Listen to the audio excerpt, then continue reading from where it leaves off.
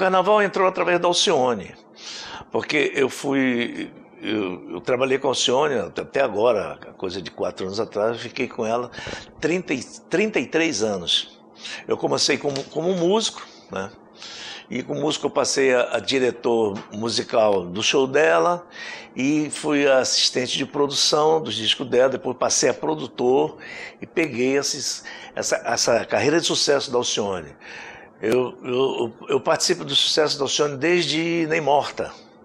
Nem Morta está na loucura, meu vice é você, aí vem, vem embora. Aí vem um monte, né? Vem, meu ébano, que é o negão tirar no chapéu, é, você me vira a cabeça, a loba. É muita coisa, é muito sucesso. Alcione realmente, nós fizemos Isso tudo passou pela tua mão. Tudo né? comigo, é. Passou por mim. Eu comecei é, é, sendo assistente de, de, produção, fiz dois discos com ela, Garoto Maroto também é uma música que eu não posso esquecer. É, e daí eu passei a produtor, primeiro dividindo com o Ivan Paulo, porque o Ivan Paulo. Ivan Paulo Maestro. O Maestro Ivan Paulo, que era o produtor dela. Eu comecei, depois eu dividi dois discos com ele, depois o Ivan Paulo precisou viajar, não sei o quê.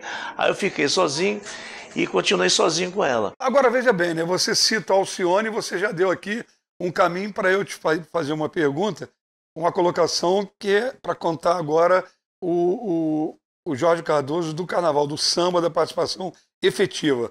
Você foi o diretor musical do enredo em homenagem a Maria Bethânia,